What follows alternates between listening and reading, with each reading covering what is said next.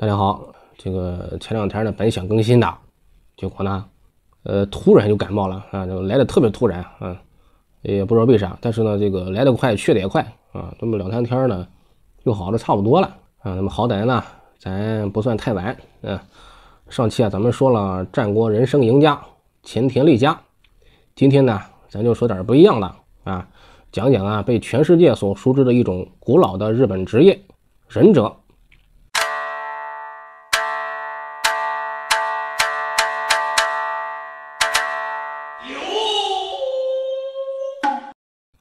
忍者是日本自镰仓时代起啊就有的一种职业，他们呢大多从事间谍或暗杀活动，同时呢，呃，自身靠修行忍术来强化自己的体能、精神技能，嗯，从而呢让他们在进行工作时呢更加得心应手，甚至啊他们要遵循忍道来要求自身的行为准则，可以理解为呢日本古代的超级间谍。忍者的形象啊非常深入人心。至今呢，仍然活跃在各种漫画、动画、电影和其他艺术形式当中。那今天呢，我们来抛开艺术创作啊，还原一下真实的忍者是什么样的。所谓忍者呀，便是隐者啊，忍有隐忍之意，是通过隐藏和忍耐来达到自己目的的人。而这其中啊，也有修行忍术之人的意思。据说啊，忍者这个概念啊，是起源于我国西周时期啊，太公望吕尚，就是姜子牙啊，他将自己对于忍者和忍术的理解呢，写进了自己的兵法巨著《六韬》之中。后来此书啊传入日本，被日本人呢所喜爱和追捧，人们呢从中将忍者的理念不断融合发展，逐渐形成了日本本土化的东西。根据日本书记记载。日本圣德太子手下就有一名叫做大半细人的忍术大师，当时的忍者啊叫做忍啊，就是喜怒比，也就是说，忍者的出现最早可以追溯到飞鸟时代。而《太平记》中也有记载，日本南北朝时期有很多忍者活动，当时啊也将忍者称作忍啊喜怒比。战国时代呢，贾飞的武田信玄将自己养的忍者部队称作乱波。随着信玄的势力不断扩大，啊，乱波的名称在关东地区盛行，关西地区则将忍者称作透波。而忍者这个名称的正式确立，啊，应该是在江户时代。我们今天用的比较多的 ninja，啊，其实就是汉字忍者的音译。而女忍者啊，会被特别区分，叫做 kunoichi。随着日本不断的爆发乱世，忍者这个职业呢，不断得到各方势力的重视。啊，世道越乱，这种见不得人的勾当啊就越多。忍者们呢，根据自身的根基和忍术流派的不同，分散于各地，划分为不同的忍者集团。这些忍者集团呢，经常受雇于大明和各种金主，去完成间谍活动，甚至啊，很多忍者集团就直接成为了大明的直属势力。嗯，比如投效德川家康的服部半藏和他率领的伊贺组，后北条家的风魔忍者啊，也是其中之一。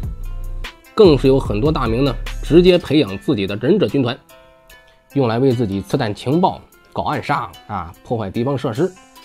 比如上杉谦信的轩辕组，武田信玄的乱波，伊达正宗的黑镜金组。但是啊，不管这些忍者分散于何地，属于哪个势力、哪个大名。在他们忍者内部的世界里，大体都分为三个阶层，啊，上忍、中忍、下忍。这上忍呢，也叫智能人，他们是忍者的首领和决策层，负责策划和统筹。啊，中忍呢是前线指挥员，负责任务的实际指挥，而下忍是最基本的执行单位，他们处在任务的最前线。从这样来看呢，中忍应该是个人能力最高的啊。不仅要有指挥能力，而且个人的忍术和作战也不能落下啊！跟我们在《火影忍者》里看到的不大一样。火影里边上忍是最牛逼的，那么上忍呢上边还有影，呃，其实，在现实中啊，卡卡西这种忍者最适合做中忍，对吧？啊，那个有头脑啊，也能打。而鹿丸呢，应是做上忍的。嗯，当然上忍呢也不是不能打啊，但是领导时间做长了，是吧？这个战斗力肯定会下降。那整个忍者阶层啊，在日本社会中的地位比较低下，因为在以武士为主导的日本社会中，他们的行事方式和准则几乎与武士背道而驰。武士呢讲究光明磊落，讲仁义忠勇，而忍者呢恰恰是在暗处工作，而且都是一些见不得人的勾当，所用的手段也是无所顾忌，什么暗杀呀、投毒啊、是吧、偷盗啊、散布流言，这些在武士看来啊，简直是如畜生一般，并且忍者呢是谁出钱就受雇于谁，武士是要讲忠义的啊，不能因为金钱而随便换主人，因此呢，忍者的社会地位如此低下。忍者的数量也并不多啊！你像家康手下的伊贺组啊，这种官方忍者部队啊，也不过二百人，地位又低，被人看不起，然后成天呢还得出生入死的啊！想想就知道，去做忍者的人啊不会很多。提起忍术啊，大伙儿可能又想起火影忍者啊，什么火遁、水遁啊、雷遁、土遁、木遁，是吧？眼花缭乱，威力无比。其实忍者文化之所以流行，也是因为很多艺术作品把忍术描绘的过于魔幻和神奇。但实际上呢，真正的忍术很显然没有那么神。如果真能召唤个大蛤蟆啊，出来还能会吐火，那要那么多武士上前线拼命干嘛？现实中的忍术啊，所涵盖的技能呢，确实非常广泛。毕竟是进行敌后间谍工作啊，九死一生啊，不仅要求修炼者加强体能和精神。还要学会各种特殊的技能，包括格斗技能啊，使用各种忍具，观察和预测天气和天象，化妆易容，识别药草，使用火器，如何长时间的隐蔽，如何让自己安全的逃跑，等等等等，甚至还要熟知兵法，以用来在战场上呢更好的汇集情报。因此，要把忍术修炼到家，也确实是一件很难的事。各地的忍者呢，根据自身的技能和长处。分成了不同的流派，但归根结底，这些忍者流派啊，都出自于伊贺和甲贺。而这两家本来也是一家，只是后来啊，经常受雇于不同的金主，所以经常敌对。在江户幕府的第四代将军德川家纲时代，贾贺的藤林保武总结了各种忍术之精华，写出了一本《忍者百科全书》啊，万川集海。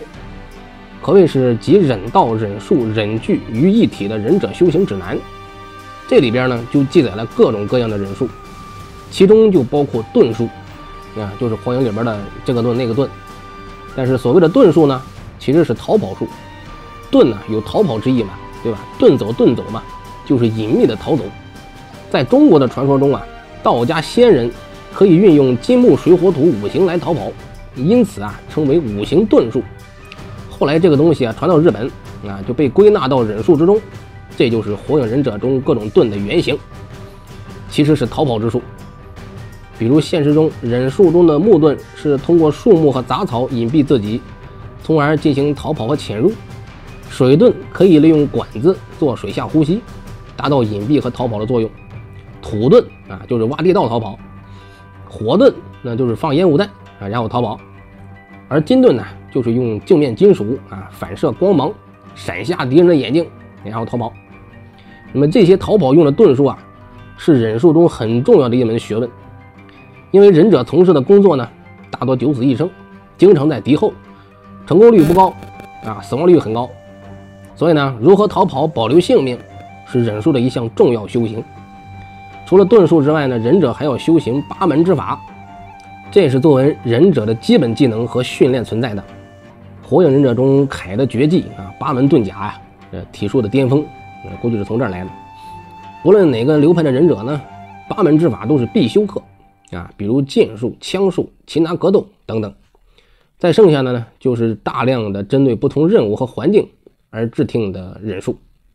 你掌握的忍术越多啊，越能在不同任务中让自己立于不败之地，同时提高自己的任务成功率。那么忍者要完成任务，除了掌握忍术之外啊。还要学会使用很多忍具。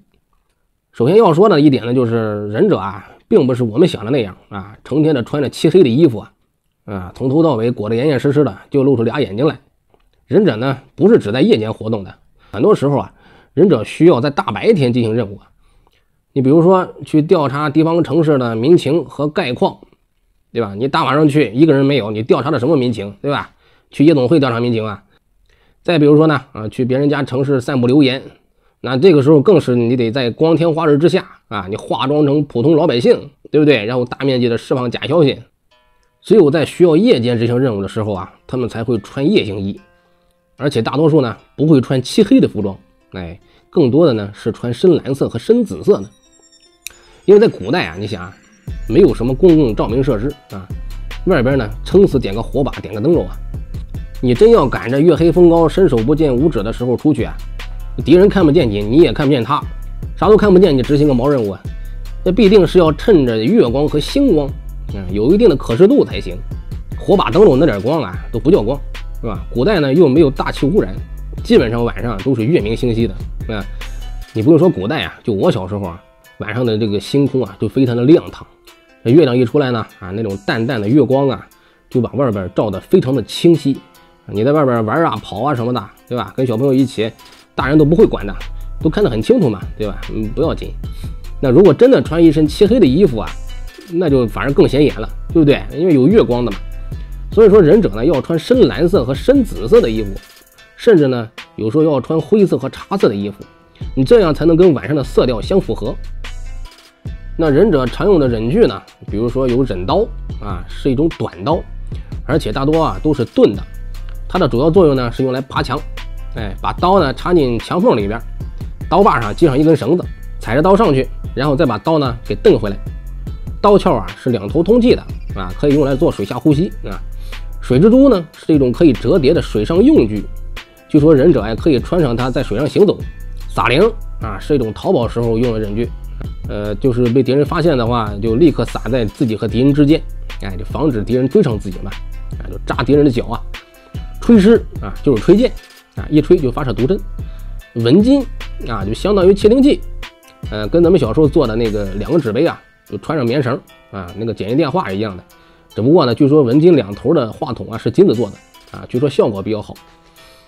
最有名的忍具呢，可能就是苦无和手里剑。呃，其实这两样东西呢也被夸张化了。首先啊，忍者不会大量携带这两样东西的啊，因为他们执行任务啊，尤其是夜间啊，要安静啊，这些东西带多了呀，一是没处放啊，它也沉呢，对不对？二是呢，一走起来这种叮当乱响啊，跟说快书似的。谁能不发现你啊，对吧？那么手里剑和苦无呢，更多的是一种妨碍敌人的道具。呃，就是敌人发现自己了，哎，就赶紧扔过去扎敌人啊，自己呢就赶紧逃跑。那作用其实跟扔石头差不多啊，你还不如捡块砖头扔过去，对吧？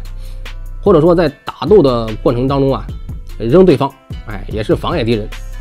我看过一个访谈啊，据说是日本最后的一个忍者啊，他就说呢，扔这个杀人啊不现实啊，太贵了，扔不起啊。在古代啊，铁器是稀缺资源，尤其是像战国这种战乱时代，铁器就是战略物资，对吧？你成天的扔大铁片子杀人，是谁也扔不起。这个弓箭呢，它不一样啊，你那箭头呢就那一点儿。嗯，再说啊，弓箭呢射程远又精准啊，杀伤力很强嘛。啊，一箭把敌人放倒了，你还可以再拿回来。你这玩意儿扔过去啊，对面顶多头上起个包破点皮儿，是吧？搞不好呢，捡起来给你扔回来了。呃，尤其是苦啊，这个东西呢，更多的时候是做小铲子啊，用来挖洞用的，哎，然后逃跑呀或怎么样，也可以作为呢攀登的工具啊，就说是两个手拿着它呀，插进墙缝和石头缝里，然后往上爬。大家在看《火影忍者》的时候啊，肯定经常看到这种画面。结印在现实中的忍者呢，是会这么做的，但是呢，他们可不是为了发动忍术，而是一种特殊的祈祷方式。依照九字真言，临兵斗者皆阵列在前，分别用手结出九个手印，啊，以此呢来驱除一切邪祟。估计是经常执行非常凶险的任务啊，所以用来求个心理安慰。九字真言呢，出自中国东晋葛洪《抱朴子内篇卷十七登社》，其中说到啊，入山移之六甲密注，注曰：临兵斗者皆阵列前行。凡九字，常当密注之，无所不避。意思就是说呀，你进一些名山大川的时候，常念这九字真言，可以辟邪啊。后来呢，传入日本的时候呢，被误传成了临兵斗者皆阵列在前。忍者们呢，就在执行一些危险性比较高的任务啊，或者说面临生死抉择的时候，哎，常常念动九字真言，并结手印，用来祈求平安。日本历史上有名的忍者不少，其中最著名的要数德川家康手下伊贺组头领服部半藏正成。服部半藏啊，不是一个人的名字，半藏是服部家历代家督世袭的名号。第一代服部半藏是伊贺豪族服部宝长，服部家作为忍术发源地伊贺的上忍三家之一，地位在忍者圈啊相当有名啊。其他两家呢，分别是百地家和藤林家。《忍者百科全书·万川集海》的作者藤林保武就是藤林家的后人。据说服部家的祖先啊是归化人啊，也就是从中国和朝鲜来到日本的渡来人。他们在日本呢定居繁衍，逐渐融入当地，成为移民。据说服部家的祖先呢原来姓秦啊，这一听就是个中国姓吧。他们家呢因为擅长做吴服啊，而取日本姓服部。吴服啊就是日本的和服啊，都是从中国传来的。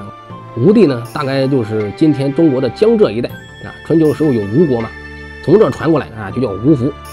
福部家在一代半藏宝长的时候就开始侍奉松平家，也就是后来的德川家。后来啊，宝长将半藏的名号和首领的位子传给长子正成，福部家继续为德川家效力，正成也立下不少功劳，得到了家康的赞赏。一五八二年，本能寺之变爆发，信长又战死。本来家康在之前刚跟信长叙完旧，是吧？现在人呢，在当时著名的商业都市借市游山玩水啊，听到这个消息之后啊，慌的一批。因为信长死后啊，他也算是一号人物，明智光秀啊，在到处捉拿他。可是呢，他身在他乡，对吧？出门呢又没带几个护卫，啊，原本是想着见了大哥啊，能有什么事吗？那家康啊一度绝望，就认为自己啊必命丧于此。此时呢，服部正成主动请缨。为家康规划逃跑路线，利用自己作为忍者的人脉和关系啊，亲自护送家康一路艰难险阻的回到了三河。哎，回国后呢，家康感念郑成的功劳，赐予郑成远江国八千担的领地，并组建起了二百人的伊贺众忍者部队，交由郑成率领。此后，郑成不断发挥自己的作用，被人们称为“鬼半藏”，并且位列德川家十六神将之一。一五九六年，服部半藏郑成去世，半藏的名号传给了长子服部正就。可是正就啊，很快就因为胡作非为，被解除了兵权。而服部家半藏的名号一直传到了第十二代服部半藏正义。但是提起服部半藏，在不特别指明的情况下，大多是指二代半藏服部正成。此后，随着江户幕府的稳定统治，战乱逐渐减少，忍者呢也失去了它存在的意义。直到今天呢，据说日本的最后一名正统忍者啊，已经宣布不收任何徒弟了。那那么很可能在他之后呢，就再也没有忍者了。好的，今天的故事啊就讲到这儿啊，下期再见，拜拜。